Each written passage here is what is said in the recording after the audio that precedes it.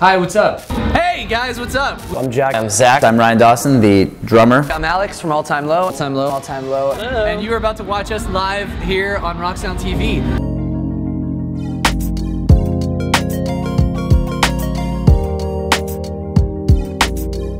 Taking the stage is one of the biggest and best moments of any any show, especially when you're talking about festivals and, and just larger shows in general. You kind of walk out and immediately you're hit. It's like a wave of heat and sweat that's already emanating from the crowd. And then, you know, then the scream and then the energy and then the crowd starts moving like the sea. And it just, that energy fuels you. Like even, you might, however excited you are before you go on stage, the second you hit the stage, everything just kind of clicks and suddenly that bond is there between you and the audience. And I think that's the most overwhelming moment.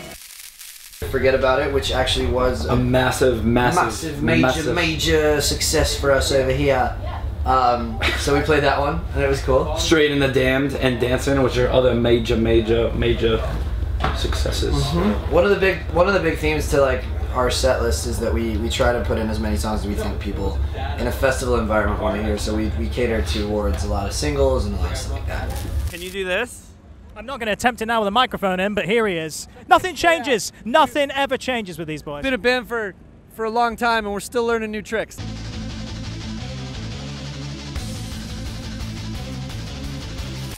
Definitely Jack, and I think everyone knows that. Uh, me most likely. I'm late a lot, and I'm most I'm usually drunk. I'm definitely at least pro- professional. Uh, there's there's not a serious moment where I won't try to make it not so serious and crack some kind of joke and piss everyone off. So I'll take I'll take Lee serious. Jack and Alex together. Um, uh, when they do interviews together, I'm sure you know this. yeah, Like a lot of times, if it's me and Alex or me and Jack, it's kind of you know they are kind of funny, and I kind of bring it down and be like, yeah, but the real answer is this. Dude, I've heard them do interviews together, and they're like, so you know, what was the inspiration for um, you know the song Guts? Seems to be really like written from deep in your heart. Uh, what's the inspiration? And five minutes later, just like, yeah, and then my dick.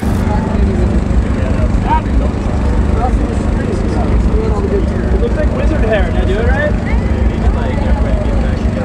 It looks like Cupid wizard hair. I love playing sports, American football, soccer, baseball, whatever we can do on the road. Uh, we love we love playing sports, which is not too common with band dudes. When I was in middle school, so when I was about 13 to 16, I was heavily into doing magic tricks with cards. I used to stand outside a movie theater and do magic tricks for tips. I'm an avid fisherman, uh, freshwater and saltwater. I love to cook. I'm a really I'm a decent cook. A lot of people, for some reason, don't expect that from me when I post pictures online of my cooking. Weightless was is the song that I think kind of if someone were to ask me how to define all time low with one song, I would reference Weightless. Um, I think that's the one that's sort of like across the board has a bit of everything that we do wrapped into one. Um, and it, you know, that was our sophomore record. You have a lot to prove with the second album, and uh, that song kind of carried the weight. Hysteria in the dance hall. Panic at the Disco. Yes. Um, a number of people that fly planes. A very specific number of people that fly planes. 21 pilots. Yes. Um, so it's another word for like the, I can't say the word. Um, your like your dentures that fall out when you're a little kid. Dairy, Uh, milk tooth. multiple tooths. Milk teeth. Yeah. Um, um, um, um, our favorite Japanese band. One OK Rock. Yes. Um, it's uh, the band was named because Billie smoked a lot of weed. Green Day. Yes. um, so, uh, like, you, if you go into the woods and you see a, they shit in the woods. Bear. bear Yeah. tooth? Yes. um, when the water comes up to your throat level, you you are. Uh, neck deep. Yeah. um, It's always like building Lego sets and like getting into activities. Love Legos. Yeah.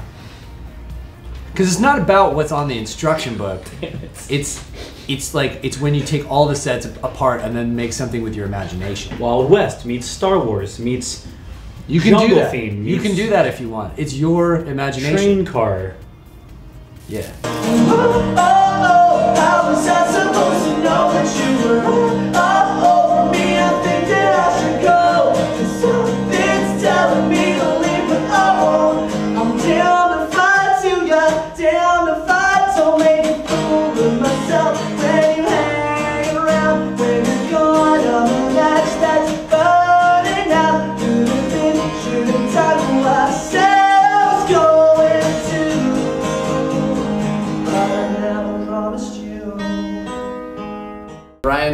Has the worst taste in music. He, if you like, literally, you can't. He insists on listening to his iTunes playlist on shuffle, and you can't get like he skips nine out of ten songs before he settles on a song. And I keep saying to him, I'm like, dude, if you have to skip that many songs, there's something fucking wrong with your music library. Like, get some shit that you actually like. It's like it's all ska and like Michael, Michael Bublé. Worst taste in music, the guys would probably say me. I listen to a lot of uh, old school, like kind of like bad pop punk and ska music and all that, and they don't like that. But if it's asking me, I'm not gonna say myself. I'd say Alex because he just has like obscure noises on his iPod, like just ambient. I guess they're bands, but it's just like like whale sounds mixed with like lasers. I feel like Dancing was probably, I'd say, the biggest budget we've ever had for a music video. It was pretty Yes. insane. Um, being on set was kind of ridiculous. Like, it was huge. It was a massive soundstage in, in Hollywood, and It's the real deal. We had a lot of fun shooting that because it was just us kind of just messing around, and like we had like a dude on motorcycles. Like, I was grinding on dudes, they were grinding on me. Typical Saturday night. It was pretty wild. I mean, it was like obviously there's three phases to the video. It was the first time we worked with an actor too, which was kind of fun. Uh, the guy that plays sort of our, our record exec, who's forcing us to sell out. Um, and uh, what was great, I think, was just like the I love the spoofing of the other videos. A lot, plenty of people have done it. It's kind of a played out concept, but um, you know, I think it worked out really well for us just because we got to have fun with it. And at the time, you know, dressing up in Gaga spandex felt good for us. It was nice. It was a sweaty day. It gave me an appreciation for girls who wear high heels because I couldn't walk for like three days after after wearing those for three hours. Respect, ladies. Ultimate ambition. Wow. Um, it's so tough to say. I mean, if you would to ask me that 10 years ago or 15 years ago, would be to play in front of 50 people who know our music. And, you know, now we're kind of doing that to a new level. It's tough to, I mean, if I can keep doing this as my career for the next as many years as possible, that's my ambition. I mean, I love playing drums, I love touring around the world, and there's no better feeling than seeing the music that you wrote, you know, being uh, sang back and being enjoyed by people all over the world. Nice skills, immediate skills. There we ah! He got cocky. He got cocky. Duckman. Yeah, that's true.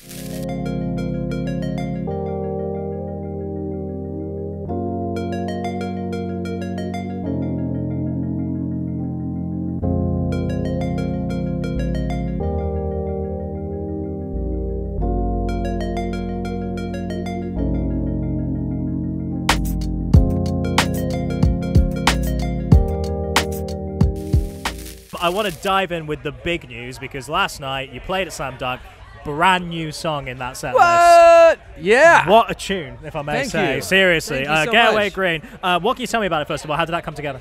Uh, I can tell you nothing about it. It's uh, song. The song started because Alex was sneaking into my bedroom at night, and I just screamed "Getaway Green," uh, and he would have to the hair, He saw the hair, and, I and he wanted me all away I saw from was the hair, and I was like, "Get away!" And that, that was his initial response, He and I was like, "That's a cool lyric." yeah. Um, no, it's uh, you know we've we've been quietly working on ideas and songs and, and things for a potential next album, and um, we kind of don't really know when that album's going to be. We don't know if this song is going to be on that album uh, or really anything. We just sort of knew that we had this song, and we felt like maybe it would be fun to, you know, drop it the way they used to drop it back in the day. If I could just find the time, but never let another day go by,